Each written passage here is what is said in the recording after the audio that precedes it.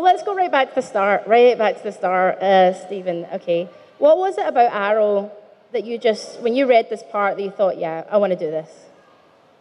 Well, that's a compliment.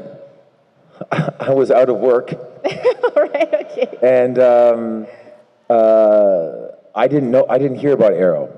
My cousin Robbie told me about Arrow. We were at a hockey game on Saturday night, and he goes, "Have you read Arrow yet?" And I go, "Uh-uh." What's that? He goes, "It's based on the Green Arrow." I go, "Who's he?" Sorry. and uh, he goes, "Yeah, I just read the pilot, and um, I'm going to go audition for it, but." The entire time that I was reading it, I was picturing you, so that's not a good sign for me. that was it. Like it was just about. It was the right, right pilot, right opportunity, right time. Cool. I know you're here. My goodness.